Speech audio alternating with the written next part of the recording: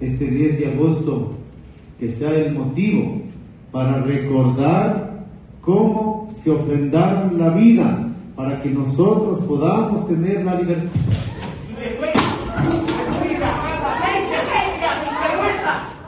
Hijo, Hijo no merece lo que estás haciendo. Tú y tu familia, familia de pillos. Familia de pillos. Esa es la situación en la ¡Sin que vergüenza! estamos. ¡Sin vergüenza debe renunciar!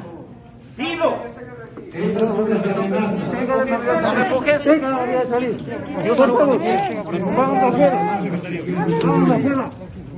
La violencia.